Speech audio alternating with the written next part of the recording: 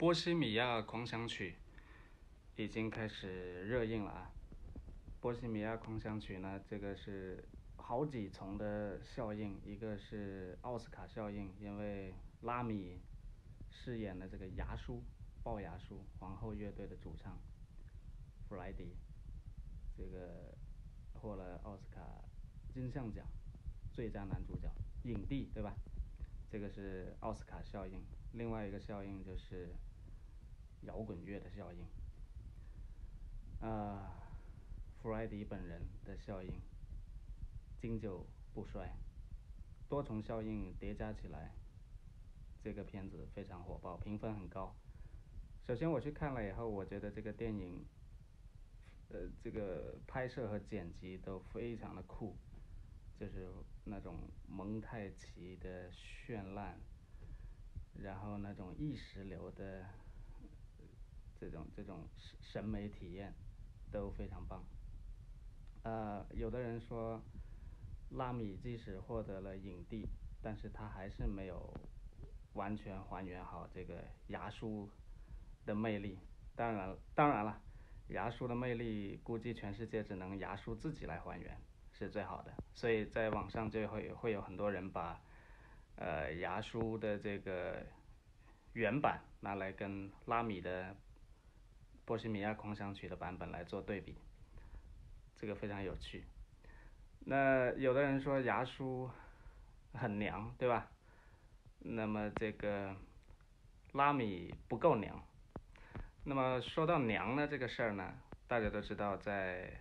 七十年代末嘛，上世纪七十年代末，当时整个世界实际上是处于一个新文化运动的一个阶段。那些摇滚乐手不光是歌唱的好，歌唱的好只是基本功了，那么他们的生活方式也会成为整整几代年轻人效仿的对象。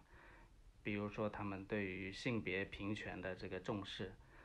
嗯，男人穿女装，女性把自己的胸罩穿到外面，这种性别意识都是非常强烈的。比如说我们这个牙叔，他就非常娘，他就会穿女人的衣服。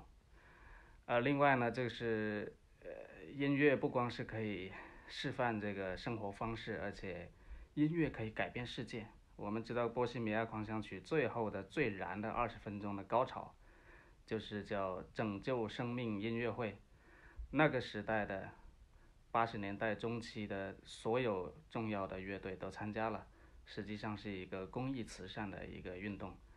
那么这个大家看到这个场面就知道，音乐是如何改变世界的。所以音乐是具有非常强的穿透力的。这个是在摇滚乐历史当中是是是非常明显的一个特征。我们知道，这个皇后乐队还去过匈牙利去做演唱会。一九八六年的时候，那么他们会用匈牙利的语言来唱匈牙利民歌，实际上促进了这个当时的国与国之间的文化交流。滚石乐队，这个被认为是。十大这个摇滚乐队排名第二，皇后乐队被认为排名第三了。滚石乐队也去古巴去开过演唱会，这个也是非常令人不可想象的。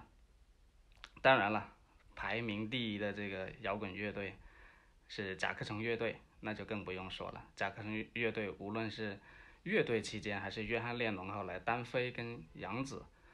在一起做的这个要做爱不要这个战争，这都是直接介入现实的。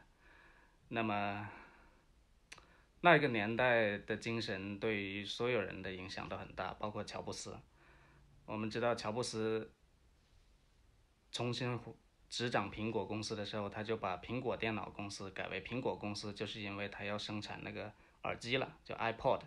他认为电脑的历史只有几十年，但是音乐的历史有那么已经有几千年了，所以他要做音乐的耳机来改变世界。